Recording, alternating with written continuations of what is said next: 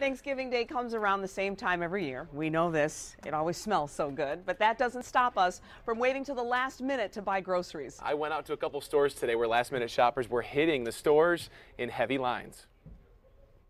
It's the time of year when last minute shopping, big dinner planning, and all day stressing are a few of our um, favorite things. I have so many people coming over tomorrow, and I'm just anxious for this to be over with. All right, be honest with me. Is she going crazy a little bit? Yeah, I'm just ready to eat.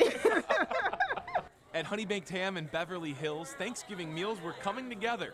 And the biggest thanks of all came because of the surprisingly short lines. Today was shorter than I expected. Yeah. Last year, this line was outside. Yeah, but this year we were, you know, we got in the door right away. This time we got them all in the store. When it's cold outside, no one wants to wait in the cold. Next, right here, please. When I look back, oh my God, I said the line was too long, and I'm glad I got here in the right timing. I'm just ready to eat turkey and like celebrate being with my family. Down the road in Troy, to complete the meal, we head over to the Grand Traverse Pie Company, where the store's shelves can't stay stocked. Tell me what you're doing here today.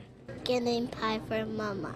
This is the most frenzied time of year for pie makers. We've been working 12 hour shifts, sometimes 14 hours, depending on how much work has to be done. Tell me where this ranks among the busiest days of the year for you guys. Uh, it's definitely number one. This is our busiest day of the year. Tis the season.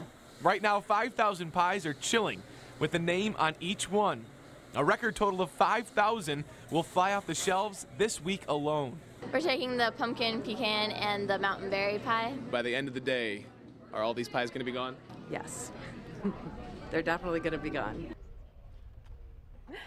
Wow, procrastinators are my people, though. I mean, Oh, they get they do so much up into the time. But I've been done since Tuesday. Oh, oh, oh, oh. Okay, I said I wouldn't dance, but I'm happy for All you. I'm happy oh, for oh, the family. Tuesday. It's good. I grabbed a pie too, so that's my contribution. Last minute shopping too. There you go. All right, all right.